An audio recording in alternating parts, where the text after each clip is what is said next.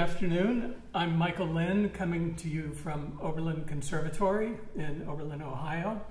Uh, I've taught historical flutes and recorders here at Oberlin for 43 years, and uh, last uh, yesterday was my last day uh, before retirement. So this is my first day of retirement, and here I am with some of my flutes to talk to you about the history and development of the flute. Um, this is an amazingly big topic, and as one um, who has been exploring these different types of flutes over the last uh, quite a few years, uh, but seriously collecting flutes for the past 10 years or so, I can say that there are almost an infinite variety of different flutes. Um, if we think about it in relation to our modern flute world, pretty much all flutes are based on the same general idea. And if you pick up one flute, you know the fingerings and, and you can play it. And the embouchure hole, you might like one better than another, but you can play on pretty much any flute. They're, they've been highly standardized. In the early days of the flute, it was the opposite of that. Um, every country had their own predilections. Uh, uh, for instance, the, the English, especially once we get to the 19th century when things really go crazy with flute development, uh, the English preferred a flute with uh, very strong sound. Um, loudness was very, very important to them. Um, they still wanted to be expressive. Uh, they wrote things that had to be very soft but the loudness of the flute was critical. And as, as I'll mention later, uh, that has um, an important uh, part of Böhm's decision to make the Böhm flute. So in France, uh, on the other end of the scale, they were mostly concerned about making a flute that was sweet. Uh, it did not have to be loud. They, the most important thing was the flute having a sweet sound uh, generally playing quite effortlessly up into the high register. Uh, the German flutes, uh, which I'll, I'll go into in a lot more detail as we go on here, but the German flutes were aiming at kind of a rounder, a little bit more colorful sound, uh, sort of in between, in a way, the, the French and the, uh, the English style. And Italian flutes uh, mostly were copying uh, the Viennese school of flute making. And American flutes, which I'll talk about in particular a little bit, uh, were often uh, based on English designs, occasionally on German designs, but usually English. But they had their, their own ideas about flute making, um, and you'll be able to hear some of that later. So as I talk through these flutes, um, I have recorded examples for you to hear of about, about 15 or 16 different flutes. Um, and uh, you know, hopefully those will be interesting and enjoyable to listen to. So one of the important things to know about the development of the flute is that most of the changes that happen as you look across this table are uh, are evolutionary changes. They, they took one design, they added a new key, they changed the bore a little bit, they changed the shape of the embouchure, but they're evolutionary changes. And there were two points in the history of the flute where there were revolutionary changes, where instead of just making these little, little tweaks and additions, they completely changed the flute. The first one of those was moving from the Renaissance flute to the three-part Baroque flute. Uh, you will hear now uh, an example of the Renaissance flute played by a consort uh, with Boaz Berney. Uh, and uh, you'll hear the, the Renaissance flute is an extremely refined instrument. It was meant to play in consort and uh, it has a beautiful sound. It can be played absolutely perfectly in tune with pure intervals, which was, was the idea at that time. Uh, so enjoy this little example.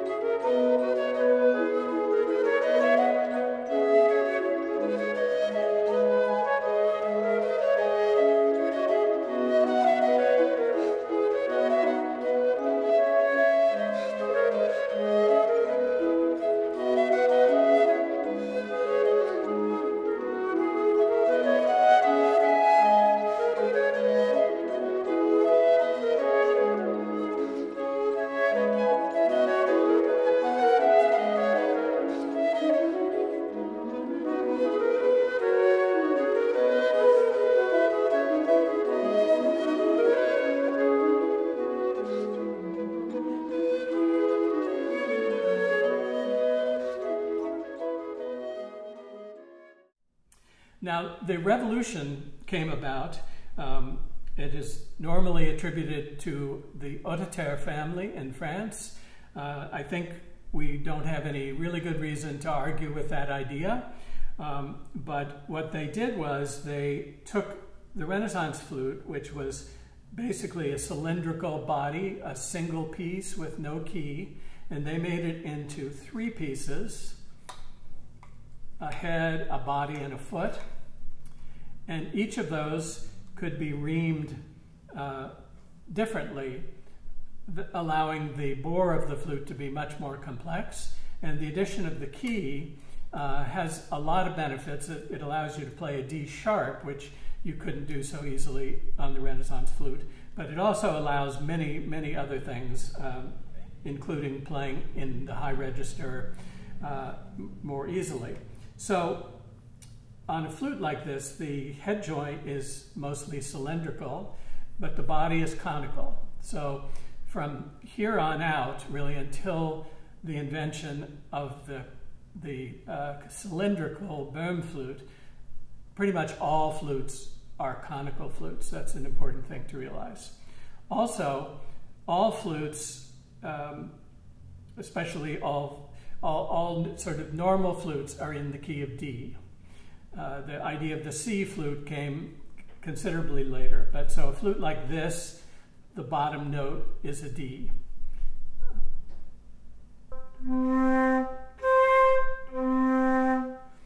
Now, if you have perfect pitch, you might be saying, well, that's not a D, that's a C. And that's because this flute is pitched at A392, in other words, a whole step below modern pitch. Uh, the, the early Baroque, especially the French flutes, were quite low in pitch. Uh, usually uh, A equals 400 would be about the highest pitch. And that went on into the 18th century. Um, so regarding how these were developed, it's interesting that we find early examples of the three-piece flute also coming from Holland. And, uh, and there's at least one example that's in Italy. Some people think it was made in Italy. I, I think we don't actually know. Um, but seemingly at the same time that Hotteterre, the Hotteterre family was coming out with this design, other people were experimenting too. We don't, we don't really know how that all came about. But they're very beautiful instruments. Um, they're meant to, um, to feature the low register of the flute. And if you look at the early French repertoire of Hotteterre or de la Barre, you'll see that it virtually never goes beyond a range of two octaves. And it spends a lot of time down at the bottom. And that has a very rich sound, and it's uh, an important uh, stamp uh, to the quality of those flutes.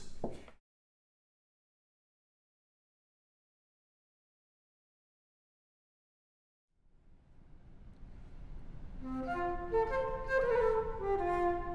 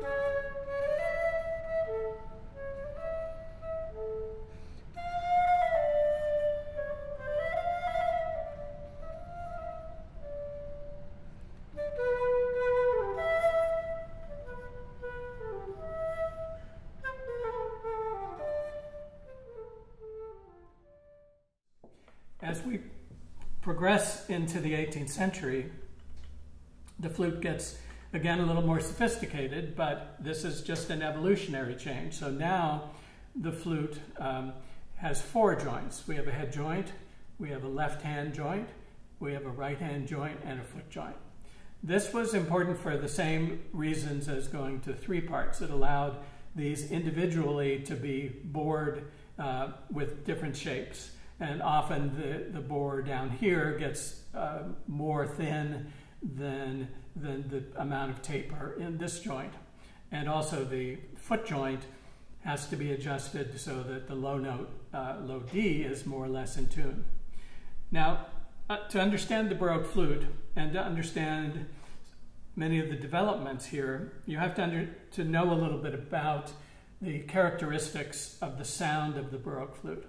So first of all, the Baroque flute, as I mentioned, is in the key of D.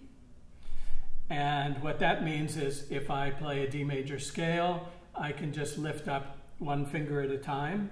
I'm going to switch to my flute that I play more regularly here.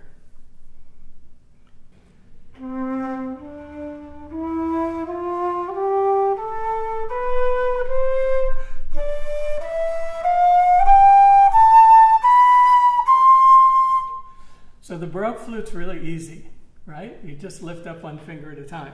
The problem then is that every other note that's not in the D major scale requires some kind of complicated fingering because we don't have a key for our G sharp um, because there's not a hole here to play a G sharp. So uh, what the result of that is that the quality, the tone quality of all the different notes changes um, depending on the note that you're playing. This is kind of the opposite of the goal of the modern flute, where the idea is for everything to be well homogenized and kind of seamlessly going from one sound to the other. The Baroque flute doesn't really do that. So if I play an A and a G sharp,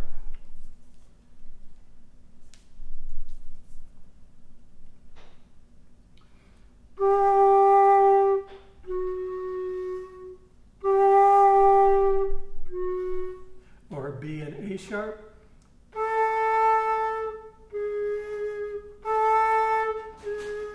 or even F sharp and F. So they, they're not only softer, they have a different quality. And uh, as we will see, uh, that was considered a very desirable aspect of the Baroque flute.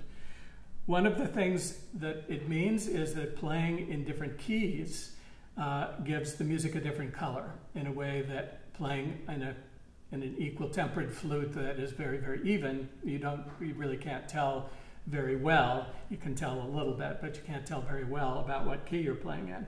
And as you'll see uh, later, this was really important in the invention of the keys, both for the reason they put on the keys and also uh, for um, the things that people didn't like about the keys. So some other examples of the Baroque flute that, that I brought along, just to tell you what they are. So, this, so the, first flute uh, is this, which is a copy of a flute of Hotteterre made by Rod Cameron. Uh, very, very beautiful flute, pitched at 392. Uh, the next flute would be one of the earliest four-joint flutes, and this is by the famous French maker Naust. This pitch, uh, flute is pitched at A400. It's a very beautiful instrument. The, uh, the original of this flute is in the Sigal Music Museum in South Carolina, which is a museum uh, where I'm on the board of advisors and I'm looking forward to working with their fantastic flutes. Two of my favorite Baroque flutes um, are the I.H. Rottenburgh model. So this is the father of G. Rottenburgh, which is the, a flute very commonly used. Um, this one is pitched at A392. It's a nice low French pitch. And the other flute, which is really my main instrument these days, is a model uh, by Buffardin. This is a copy made by Martin Wenner. And um, the Buffardin flute, there's only one original Buffardin flute known, and uh, I had the great opportunity to get to see that flute and play on it a little bit, as well as on the various copies that people have been making. And it's a wonderful flute. Um, one of the reasons why I'm so excited about it is that Buffardin was someone who had connections to the Bach family. So besides being a real hotshot flutist, he was sort of the number one flutist in Dresden. Um, and we know that Bach visited Dresden in 1718, and then the A minor partita and the uh, E minor, or yeah, E minor sonatas appeared.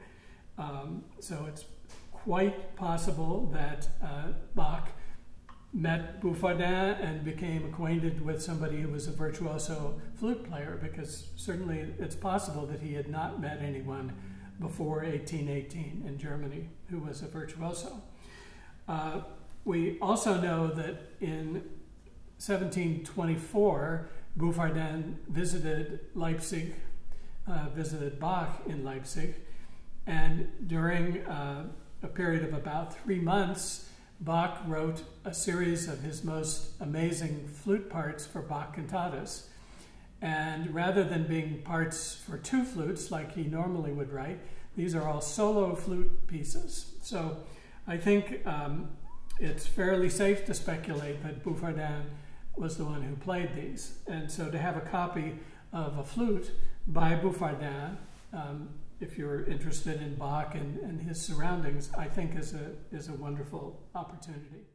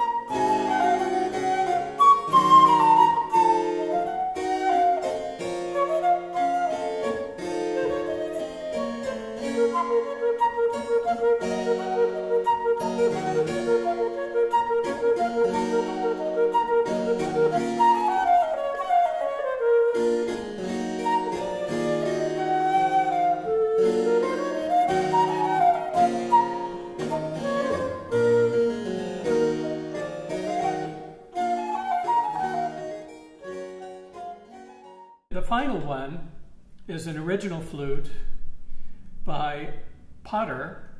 Uh, this was made in uh, probably 1750 to 1760. It's a, it's a real um, late Baroque flute, and it's made of ivory. The uh, materials used in flute making are, are very interesting, uh, as well as the flute itself. And Ivory, uh, in this case, this ivory has no cracks in it. It's, it's really in the same condition that it would have been in the 18th century. It has a, a very nice sound. Um,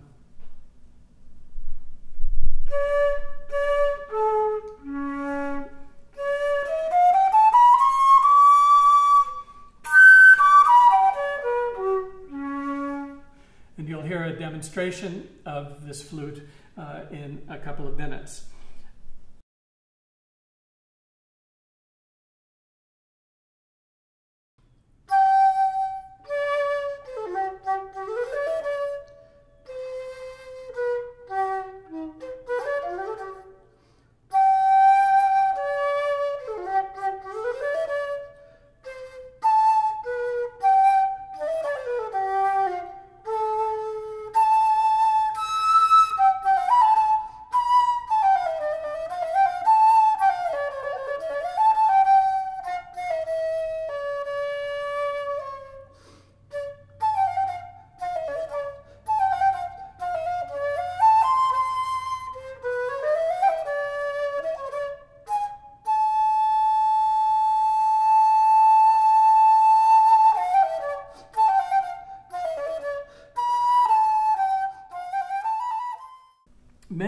Flutes that uh, that people think of as Baroque flutes and, and that people play on regularly as Baroque flutes are are really classical flutes, and that includes the the palanca flute, This is a Palanca model.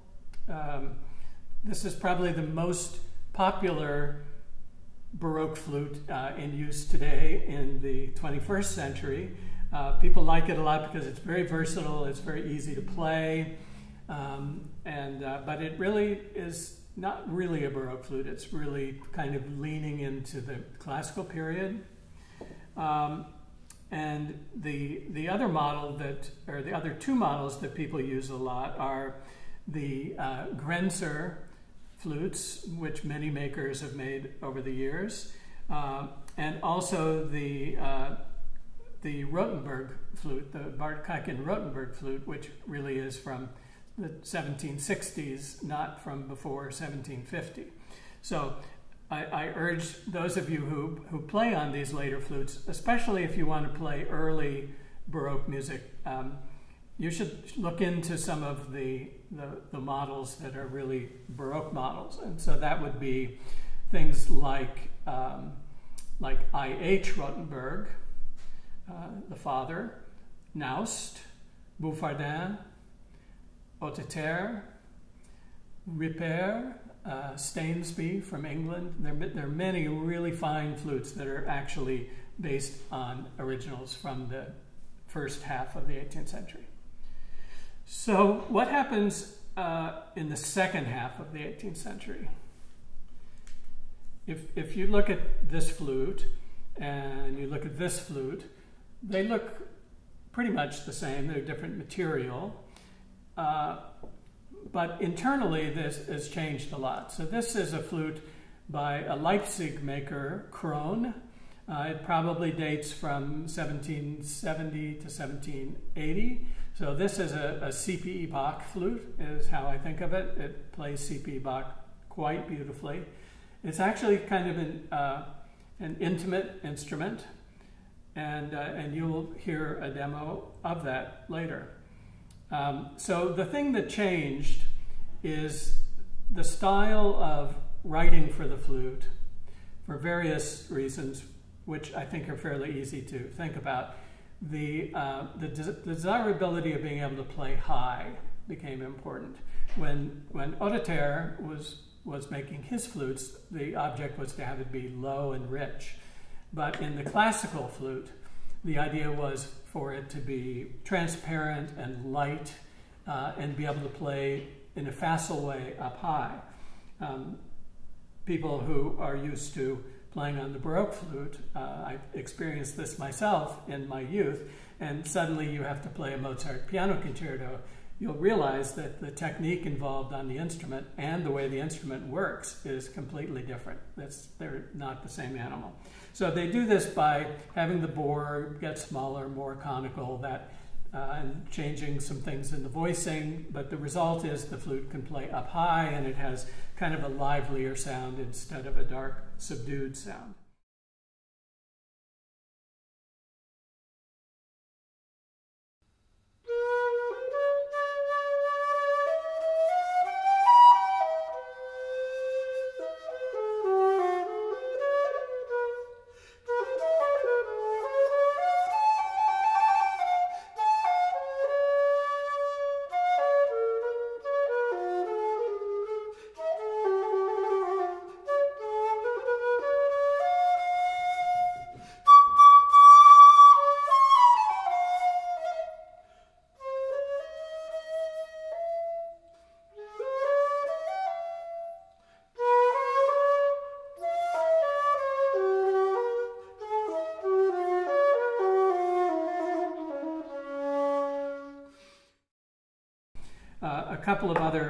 Original ones that I brought along. This is by the very famous uh, French maker Prudent. This flute uh, has three middle joints. One of the, the, the big issues in those days was that pitch was not standardized, and if you traveled from one city to the next, or if you went from the church down the street to the castle on the edge of town, the pitch might be different, and so you needed different lengths of middle joint. Um, Prudent is likely, well, he was especially famous as a bassoon maker, and uh, it, it's supposed that many of Rameau's bassoon parts would have been played on Prudent bassoons, and certainly also could be the case with the flute.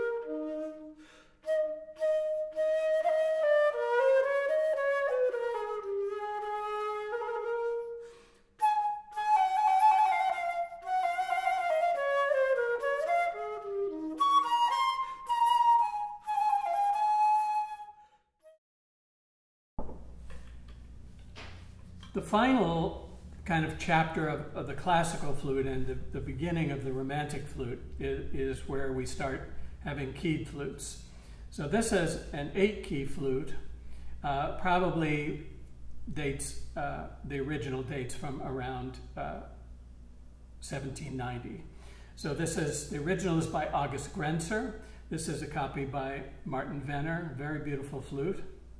Um, and uh, so this is an example of, of the evolution of the flute again, adding these keys, and I will talk about that in detail in a moment.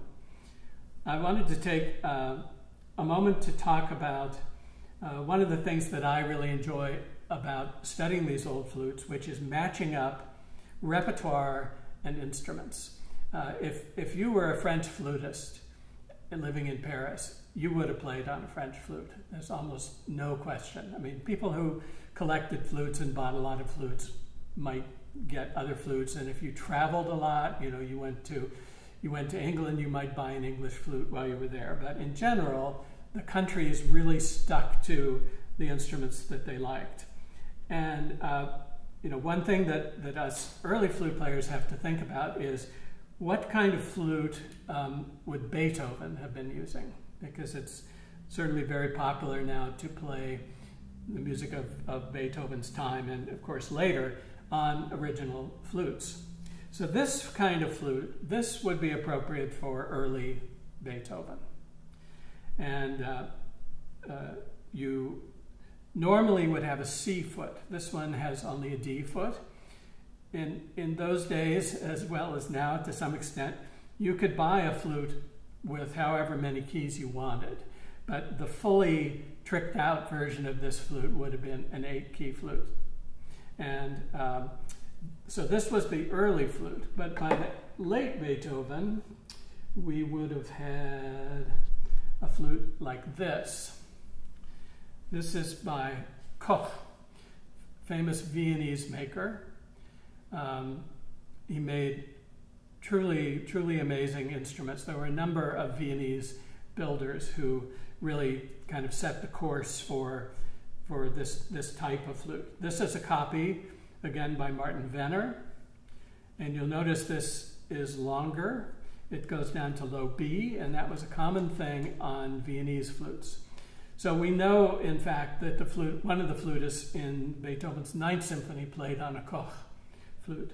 So this is this is probably, um, if anything, this is from a little bit after Beethoven died. But if you were a flutist, you you could have been playing an earlier version of this flute, or if you're playing Beethoven 15 years after he died, this would be a fantastic flute. So to see the, uh, the individual keys and how they developed, uh, the one key is pretty much the same on all of the one key flutes, and and even when we get to these later flutes, even when we get to the later flutes, the one key has the same function and pretty much the same design. So there was uh, a little bit of uh, interest in the idea of a two-key flute, which uh, Johann Joachim Quantz invented, and that had two keys next to each other, uh, one for D sharp and one for E flat, and it also allowed you to have better enharmonic tuning of the other notes.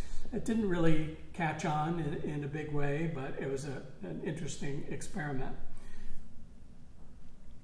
In later flutes, we often see the one key mounted on uh, some kind of a post, post and an axle, but it has the same function. It's just mounting in a more modern fashion.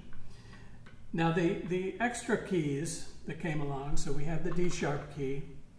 The first key I think that people were interested in was the B flat key, which you play with your thumb. So um, you're playing an A and you press down the key.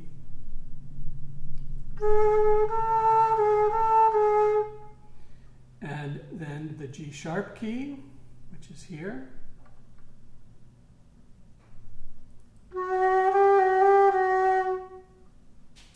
And the short F key, which is this one. So that for that I play an E and then play the key.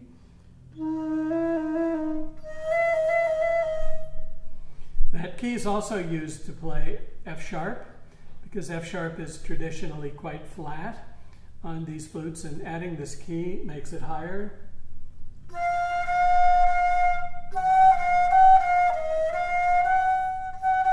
So the tuning is very good using that. The, uh, the next key was the C key, played with the right hand.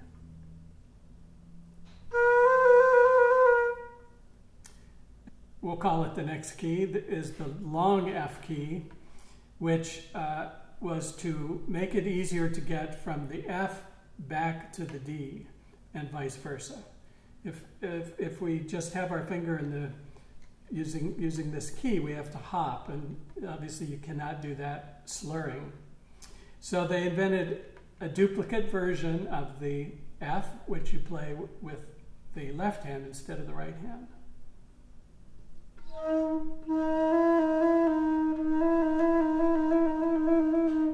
So that does exactly the same thing, but it allows you to play from E to D.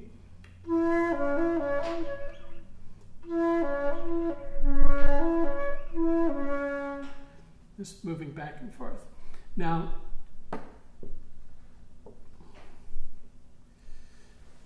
The other thing that was added was the C foot. So that has our, our D sharp key, but it also has C sharp and C.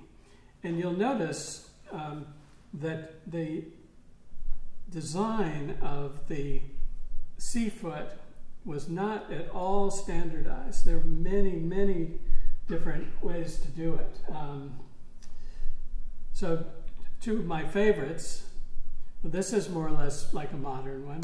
This is really unusual because the finger has to move down instead of up to get the C sharp and C.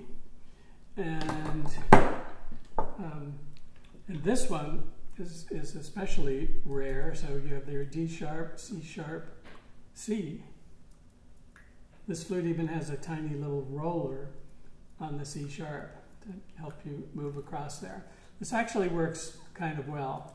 Um, the most standard version later on is this arrangement where the C sharp and C are above the D sharp. They're, they're often hard to reach, at least if you're not really used to playing with the C foot. Now, interestingly, when these keys were first introduced uh, in England, uh, they were called trillers. And uh, I think it, it's quite clear, even from looking at fingering charts, that they didn't expect, when the keys were first invented, they didn't expect you to use them all the time. The flutes retained the ability to play with the regular Baroque fingerings, or you could use the key uh, for a trill or for some time when you wanted a louder note. Now they didn't stop um, with with eight keys, although eight keys was the standard flute. In England, they called it the concert flute. I think that normally meant the eight key flute.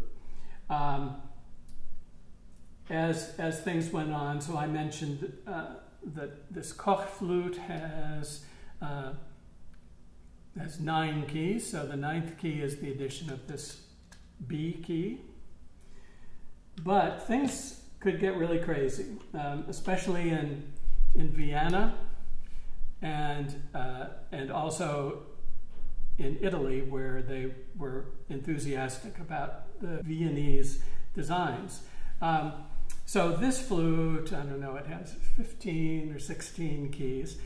So one of the things that the Germans and the Viennese liked was to have duplicate keys. So instead of having to play the B flat with my thumb, I can play the B flat with this finger. So the idea kind of came about that you wanted to be able to play most notes either using your left hand or your right hand. And then this flute goes down to C, B, B flat. This goes down to B flat.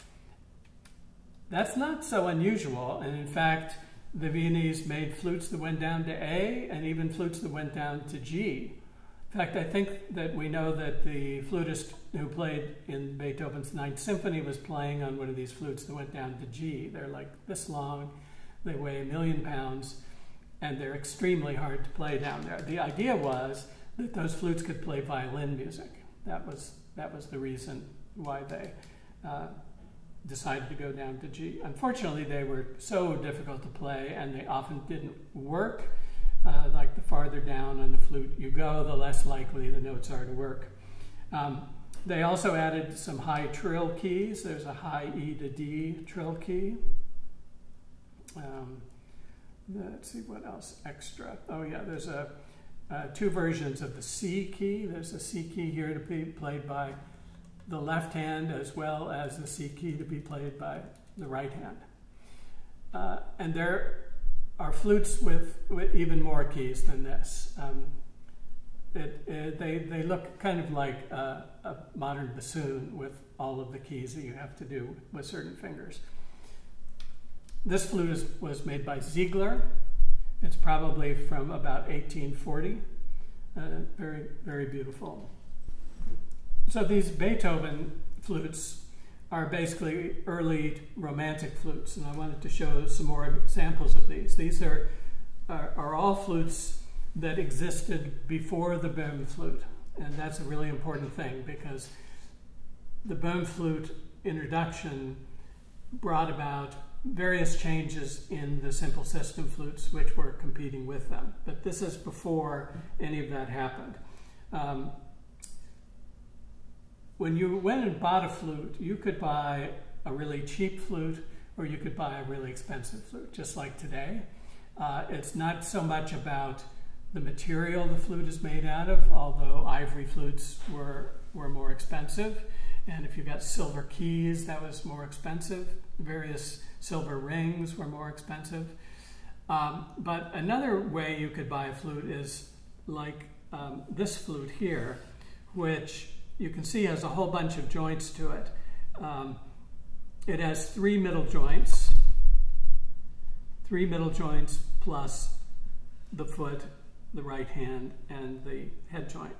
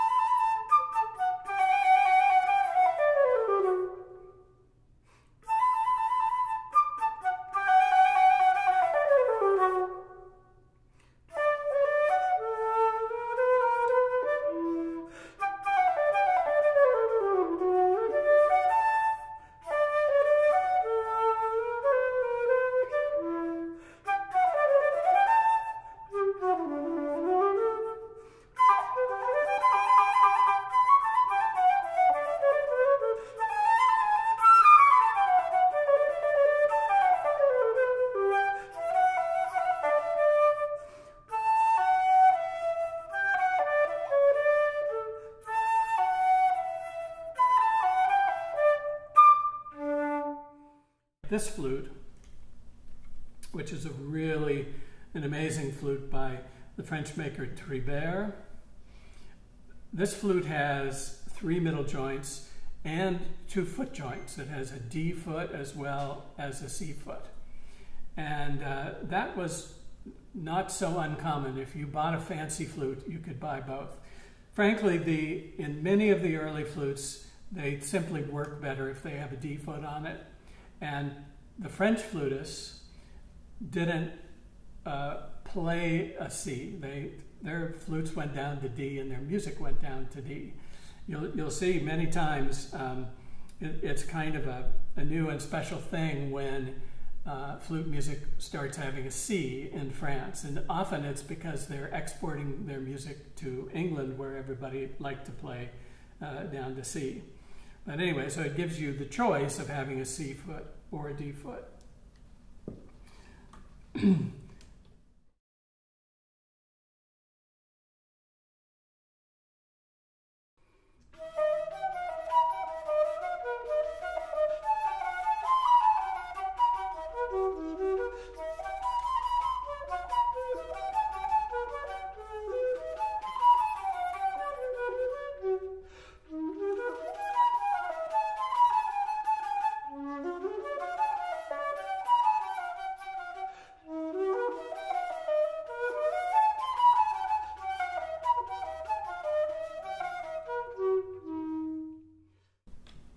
people made really extravagant flutes. This is a flute that was sold by uh, the flutist Louis Drouet. Drouet was born in Holland, uh, but spent a lot of time in France, and I think France was his main influence. He liked French style flutes that had a very sweet sound, and, and he was famous for playing in the high register very sweetly he was clearly a, a, good businessman. He toured, he literally toured uh, all around the world. He came to the United States. Uh, and, uh, and in 1821, he decided that he was going to make his own line of flutes, which he would sell in London. And this is uh, a beautiful example of one of these flutes. It's basically made to be visually as fancy as it could be made. The, the lettering here and down here is all little silver dots stuck into the wood. And uh, it has a serial number of 68. It has a very unusual foot joint. Um, I actually just got this back from restoration yesterday, but uh, we'll play you a short example on it so you can hear the sound.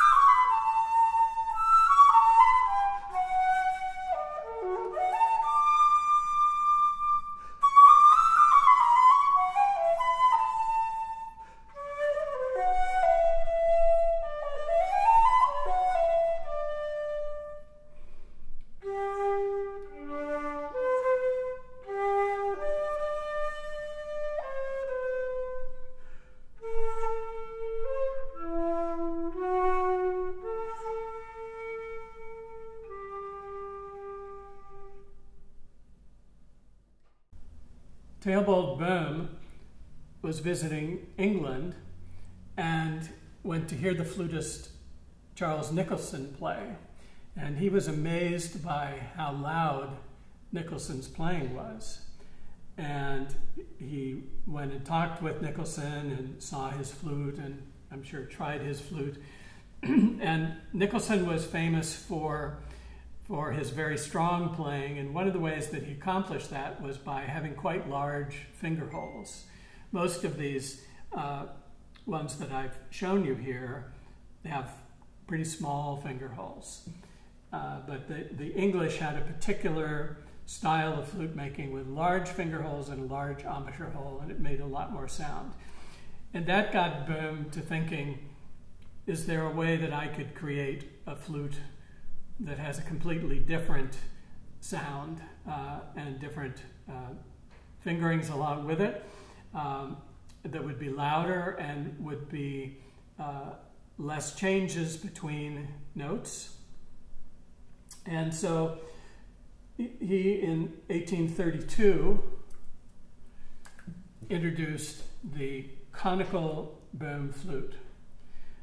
Many modern flutists don't realize that the, that the, the Böhm flute actually has two distinct categories, not just metal flutes and wooden flutes, but conical flutes and cylindrical flutes.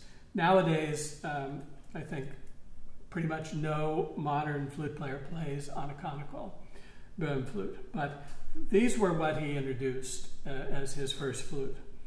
Uh, he traveled around Europe and looked for interest in his flutes. He sold some as he traveled around. Um, he impressed people greatly who heard him play. He was a very good flutist. I'm sure he, he must have been very flashy, and he could play his instrument really well. The problem was he would then, the, his flutist who was listening would say, Well, can I try that flute? And they would pick it up and try it, and, and they would realize that they were kind of having to start over again if they wanted to play the Böhm flute. There were a number of fingering problems that, that Böhm uh, kind of brought to bear. Number one, Böhm insisted that his flutes be made with an open G sharp. Uh, I know there are players still who like the open G sharp, and, and it does have a, a very good sound, but most modern flute players will, will be upset if they have to play on an open G sharp flute. And it was the same with players of that time. So, so on Böhm's flute, actually I have, have one here that plays this way. So if I want to play, uh, if I want to play a, a G natural, I have to put down the G sharp key to play a G natural. And if I want to play a G sharp,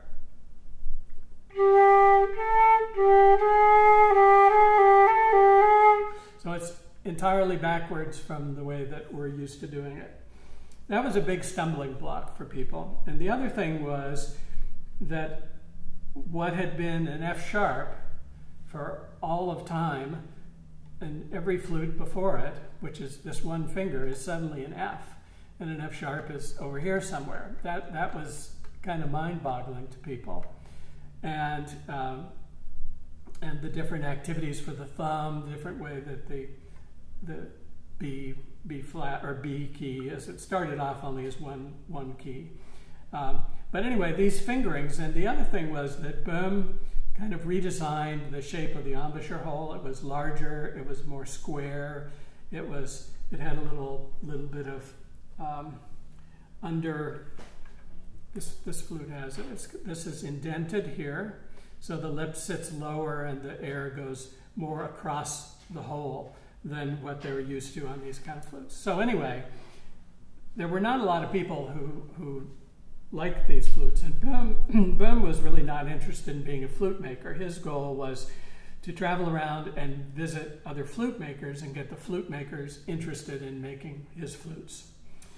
And uh, finally, in uh, 1836, around, he was visiting in France and he got um, a couple of very fine companies in France interested in his flutes.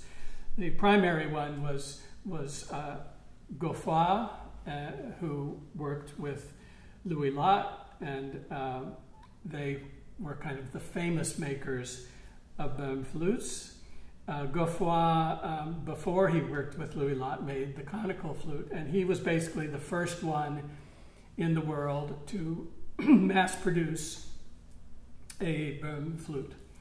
Um, this flute is by the maker uh, uh, Buffet Jeune, working together with a crazy guy named Victor Coche. And this, this flute has a huge and very interesting history to it, which I don't really have time to tell you all of it, but um, the, the real fast version is that Coche was a young hotshot flutist, and he wanted to be the person who managed the sales of all Böhm flutes. and he tried to get Böhm to give him the rights to do that, and Böhm didn't like him. He then went to the Academy of Science and showed them this flute, which he had helped invent, and said, Now, this is the improved Böhm flute. And he wrote a treatise on his new improved Böhm flute. Finally, uh, the, what was needed was for the Paris Conservatory to adopt the Böhm flute. So they had a competition uh, with Mr. Tulou, who was the head of the flute department, Cherubini, who was the head of the school, and these three young players of this flute. In the end, they rejected the Böhm flute. They, the different players played on different types of Böhm flutes. They were too different from one another, so the Parisian uh, Conservatory wanted something more standardized. Uh, so the, the Böhm flute wasn't allowed to be taught there until 1860 when Tulou died. So the very beginning of, of the Böhm flute was kind of a tumultuous event in France. And France was the place that took the Böhm flute the most seriously.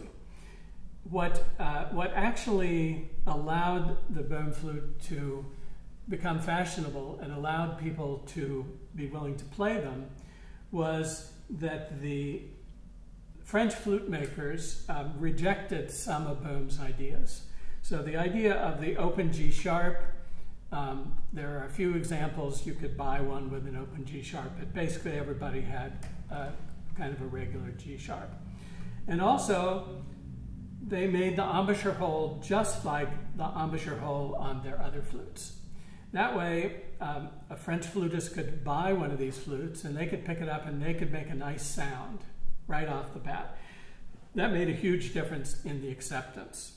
And so once the, the G sharp was straightened out, people still had to get used to the difference between F and F sharp, and of course lots of other little things. But it was much easier for people to accept than Böhm's actual design. So, so the Godefroy um, flute, um, of which this is not, um, was really the, the first mass-produced Böhm flute, and it, it was pretty successful. They, they made well up in the thousands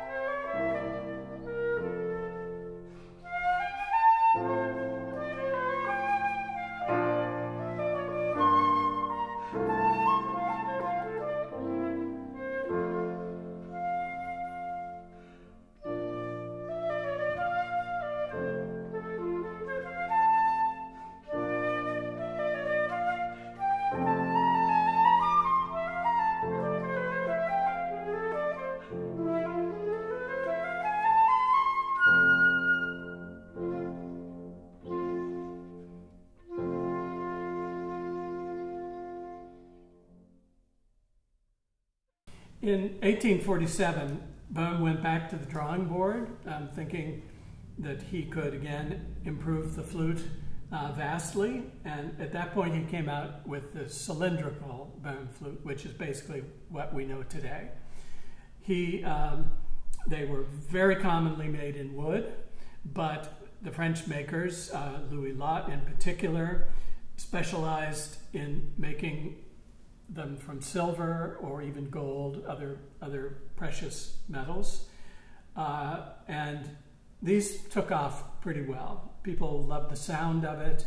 Uh, they, especially if they'd already played the conical Boehm flute, they knew the fingerings and it just was easier to play. It had a bigger sound. It was more even. Um, it was, you know, it fit very well with the age that it came in. And um, you'll hear examples played on uh, a flute by Boehm and Mendler, uh, a flute by Louis Lot, and a flute by Lefebvre. The, uh, the Louis Lot is, is a silver flute, as is the Boehm and Mendler, and the Lefebvre is a, a wooden flute. Those are played for us by uh, Joseph Monticello, who I thank very much for helping with this. Boehm flutes, from the playing standpoint, are not my specialty, um, but they are his, and so he's made these wonderful examples for us.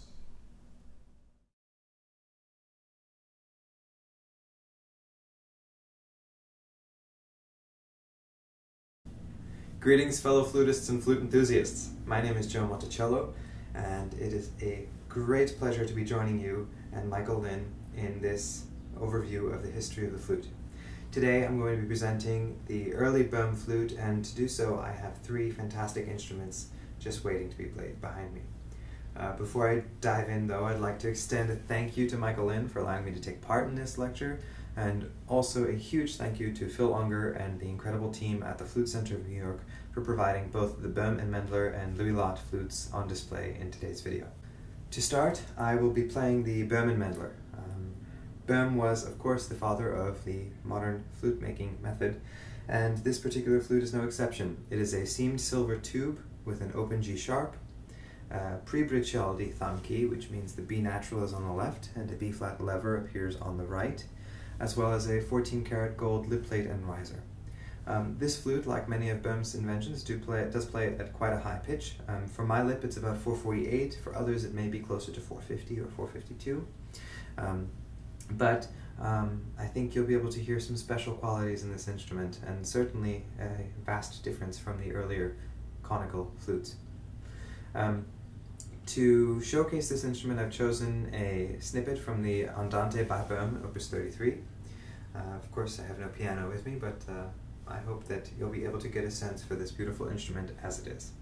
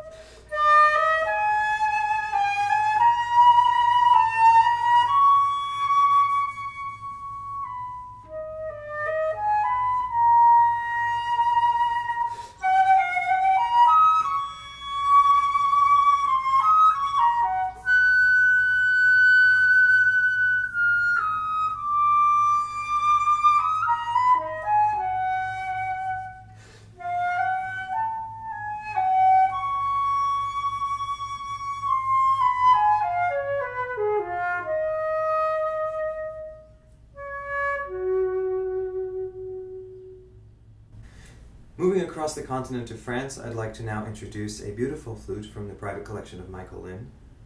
This instrument, made by Lefebvre of Paris, is in cocos wood with a nickel or silver plated mechanism. It is a very beautiful and delicate keywork as we come to uh, expect from the French makers. Um, inline G, open hole, closed G sharp, and a low B foot, which was less than common to find at the time, but certainly did exist. Um, as you will notice, uh, contrary to silver flutes or perhaps modern wooden flutes, this does not have a lip plate. Um, it makes for a much more organic feel, and it really does show a lovely connection between the older fashion of flutes and the modern school of Böhm flute making. Uh, without further ado, I'd like to play the Morceau de Concours of Fauré on both this flute and the Silver Louis Lot, which I will play in just a few minutes, so that you have an opportunity to compare and contrast the two sounds of the cylindrical Böhm flute that were floating around Paris throughout the 19th and 20th century, very much side by side. Enjoy.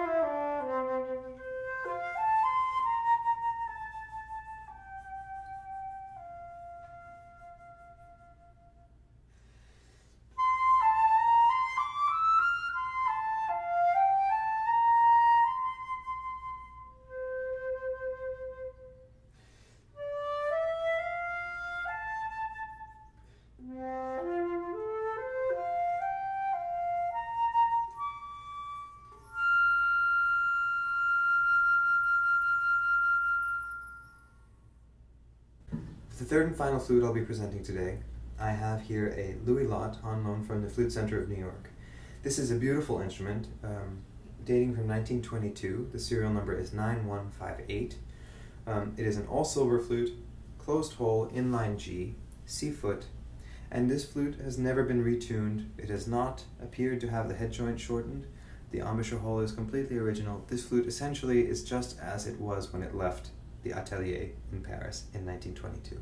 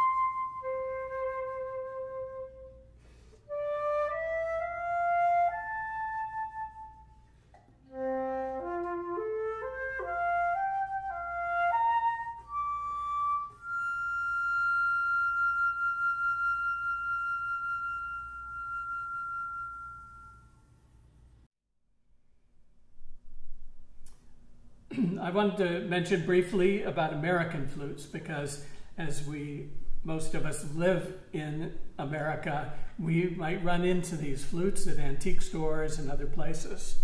Um, American flutes, uh, maybe even more than European flutes, kind of have a range from very cheap, like a flute for a dollar, to flutes that, that were expensive, that basically a, a rich person would buy.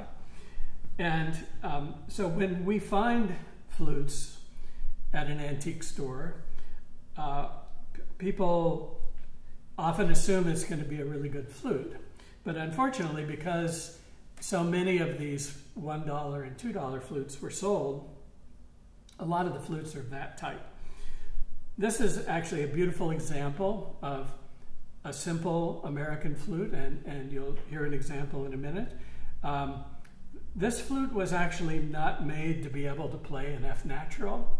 They just decided, you know, you want to play tunes, you play tunes in F sharp, or with an F sharp. So you wouldn't play this flute in an orchestra, but you might play it with your local guitar and, and pianist to, to play tunes.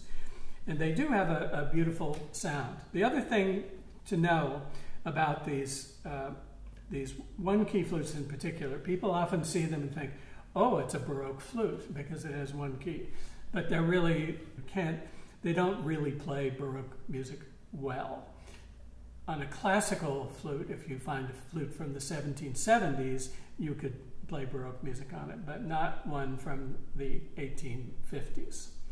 Uh, another very nice thing, um, and I demonstrate this briefly, is uh, they really liked this size of flute called a, a terz flute, a, th a, third flute, and the idea was it's a third above D, so it's a flute, a flute in F.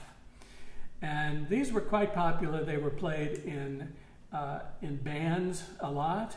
Uh, they could play clarinet parts because the lower range of the clarinet was in, in a similar fingering style and they really have a, a great sound. And um, the American maker Peloubet made this one, and I, have had a couple of F flutes by him, and they're just uh, super beautiful flutes.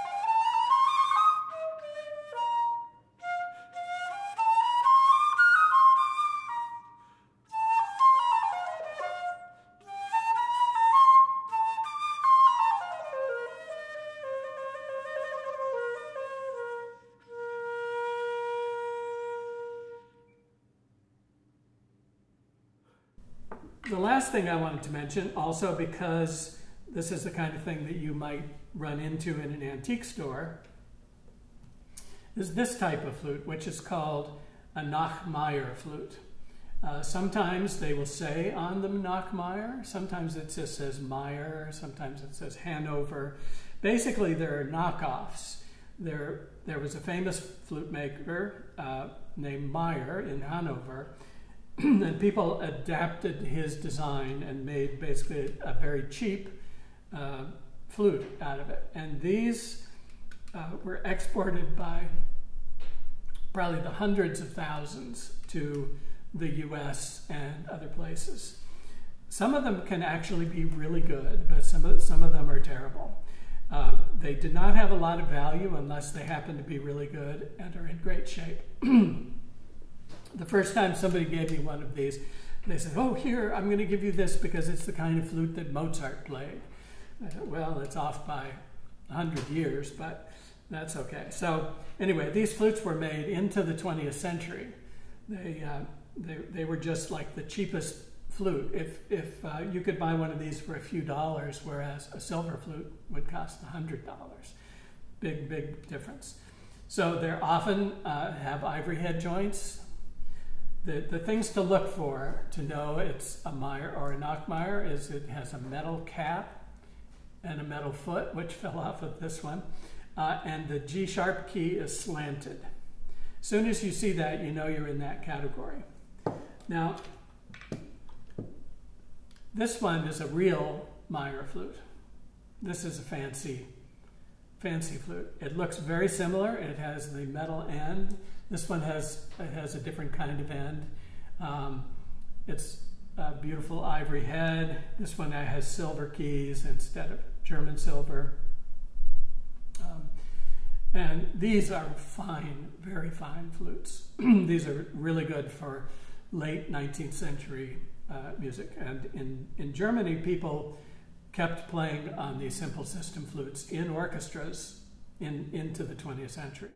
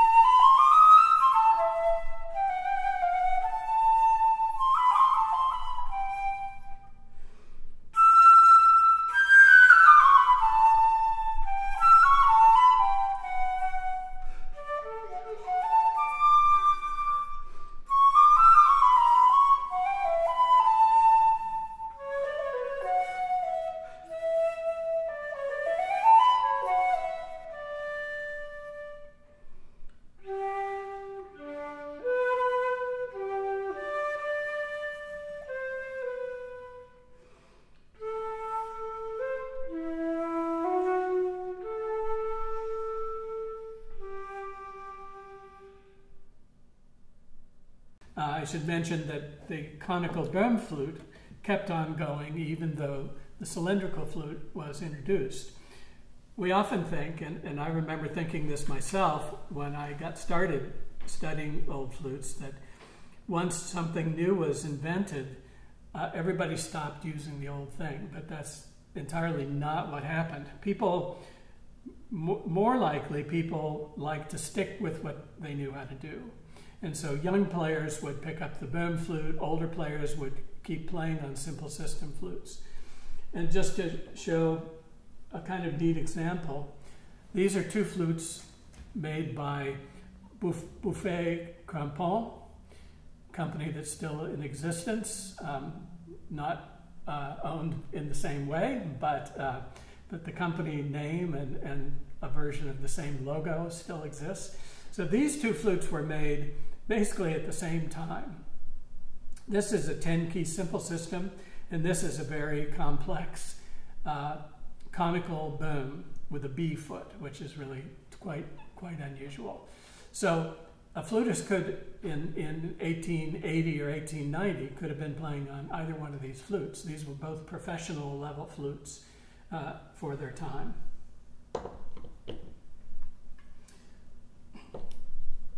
One of the other things that happened when the Böhm flute was introduced is that the makers of the simple system flute uh, tried to figure out ways to make the simple system flute have some of the nice features of the Böhm flute, but without becoming a cylindrical flute. And the most successful and, and rare and valuable of these is uh, an instrument called the flute perfectionné, which was uh, invented by Tulou, the famous flutist, uh, and Nonon, who worked with him. Uh, this is a, a Nonon flute perfectionné. They have many unusual features that the thing most obvious right away is that we have rods and axles and clutches and things like that that only the Böhm flute uh, normally would have. Uh, he, he does lots of interesting things. The, there's a C key for the thumb as well as, as the B flat. Um, he has new and different uh, trill keys. This one, this one goes down to B, which is quite rare in this type of flute. But these made a very beautiful sound. It was a, a very, very classy flute. Um, it certainly could compete um, completely well with the conical Böhm flute, which I think is really what it was intended to do. Other makers um, in England, in particular, they did a lot of crazy things where they uh, where they would make um, a simple system flute and put it on a conical bore, uh, or they would have a simple system flute with keys that looked like a Böhm system but wasn't really a Böhm system, that used used the old-fashioned fingerings, but you were using closed closed keys instead of your fingers. Um, so there were there were many different attempts to compete uh, with the Böhm system. I wanted to say one other thing, uh, which is about the materials that these flutes are made from. The black flutes are either ebony or grenadilla, or sometimes just called African blackwood. Um, in the earlier times, ebony was not so rare, um, and uh, but people did also use grenadilla. Then uh, the next most common is boxwood. So these light colored flutes are boxwood. Um, and then, as I mentioned previously, there's ivory. And then there's a wood, um, wood called cocos wood, which some people call rosewood, but it is, is not rosewood. At least generally, it's not rosewood. Cocos is, is a different family. So those were the most, most common woods. And in the 19th century, in particular, cocos became a very, very common wood. It, the reason people liked it is because it didn't warp, and uh, boxwood and some of these other woods warp quite a bit. And um, then, of course, when we get to the silver flutes, we have uh, uh, German silver, we have um, uh, regular silver, gold, all kinds of all kinds of different possibilities.